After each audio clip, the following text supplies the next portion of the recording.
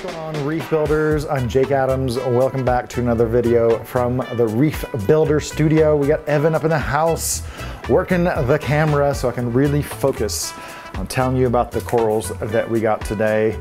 This is a uh, brand new box of frags from Jason Fox, if I didn't already say that. And I have a lot of respect for the guy because him and uh, myself and a handful of other reefers um, are the only people, aquarists that I know that have been to various different wild reefs, collected our own corals, and also, you know, taken stock of where on the reef uh, corals come from. And this really informs our reef aquarium experience and our knowledge. So, uh, so yeah, we did a really cool unboxing um, about a week or so ago on the Cali Kid corals um, with some really nice LPS and showed you some nice displays in between. So figure to circle back and uh, unbox some frags. I'm so glad I don't have to man the cameras for this one so I can really focus on what's coming out of the box.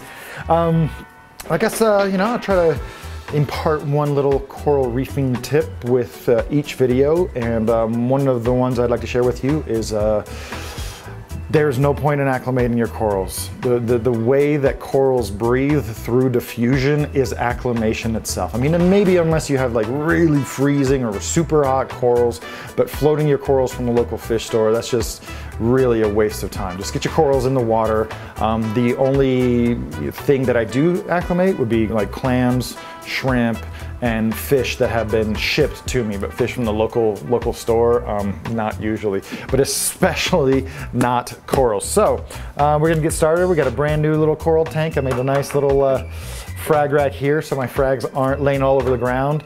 Um, got some tank water ready to go and uh, hopefully we can put together a really nice presentation for you. So I am not quite sure what's in the box. I know I always say that, but I really, I really like to leave it up to the vendor to know what about their coral catalog is um, you know really unique and worth showing off. So um, with Jason, just told him you know I'm looking kind of to fill out my collection of uh, and Seriatoporas, all the Pocilloporids, because um, I just really like their kind of bulbous, metallic style uh, tentacles. So I'm gonna pull out the corals first. I'm gonna place them down here and see what we got.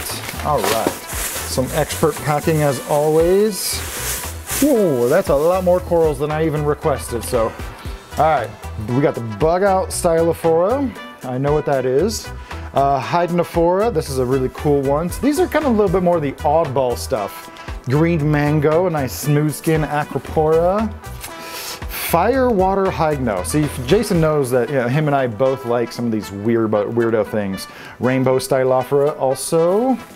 We've got Snowblind. I can't remember what that is, but we'll find out when we open it.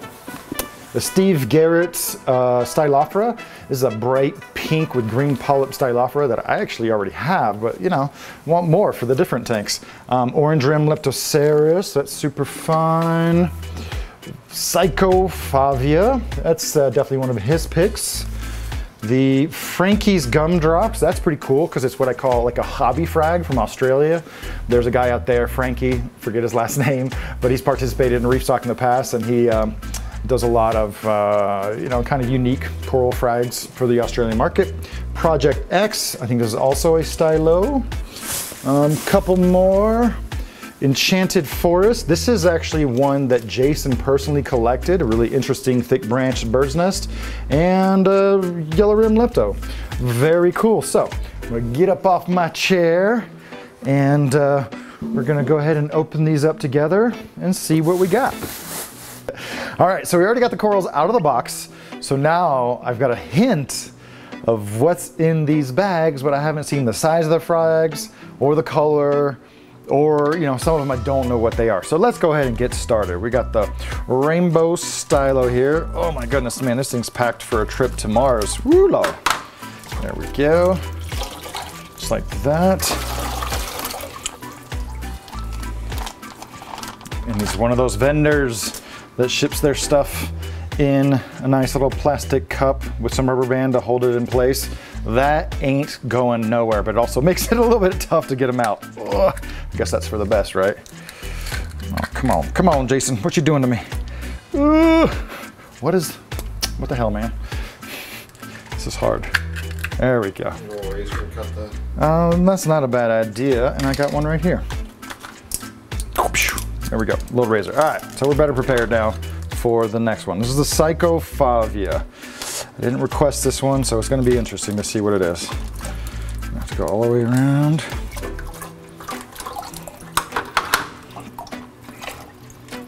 Interesting, that thing's just like very bizarre looking. All right, all right, all right, all right, Jason, I see picking up what you're putting down. And I guess we'll uh, cut off. Oh, this is tedious to do on video. Gonna have to do some cutting, some some cutting of footage. All right, there's the Psycho Snowblind. That's kind of interesting. I don't know, I don't know what that is at all.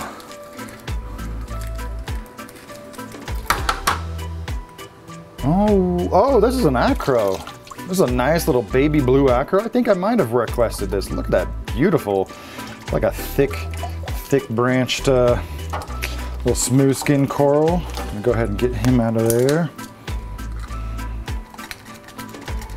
Uh, I need new razors. Obnoxious. That's fun. Look at that. Fun little coral. Snowblind acro. Very interesting, very interesting. All right, go ahead and put you down there. Um, Steve Garrett's, this is one that I already have. Like I said, this is a really, like really nice Stylophorus. And you know, for all you guys that are just chasing, uh, let's see, Jawbreaker Shrooms, Rainbow Chalices, and Rainbow Tenuis, man, you are missing out because that is a stunner of a coral. Very hardy to keep, and it'll take pretty much about as much light as you can throw at it. Ugh, man, that you really have to pull off that, that rubber band. This is the Rainbow Stylo. You can kind of see it. It's got some nice pink and some green, green polyps. Frankie's Gumdrops. I'm gonna guess that this is a Montipora, but I'm not super sure. There we go. About to find out. Gumdrops, gumdrops. That could be a Silo. No, this is a funky acro. Little funky acro bit right here.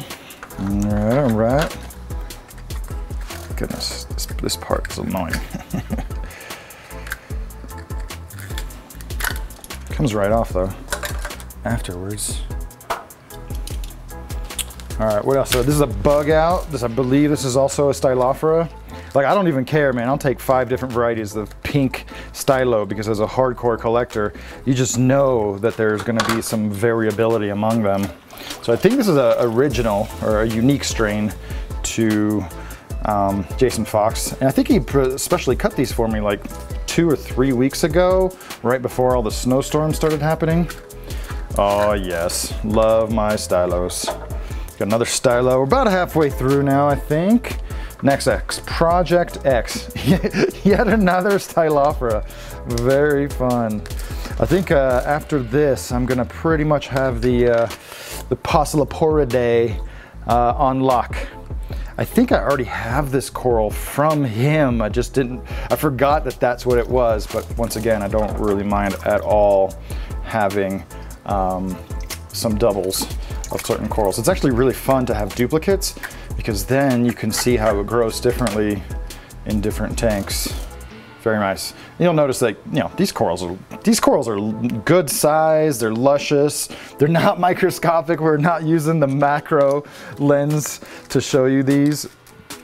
Very nice, very nice. All right, I forgot to, yellow rim leptoseris. So this is definitely gonna be a funky low light coral here. Oh, come on. Very beautiful, very unique, very different coral. Got a good view of that?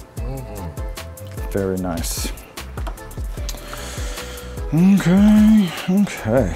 Gonna have to find a nice low light spot for this guy, but I don't really have too many low light tanks or areas. Ooh, this is a small colony, man. Holy crap. Fun, a very well-defined Leptoseris. Good chunk. And then, all right. Oh, here's a really different one. I think this is new to him.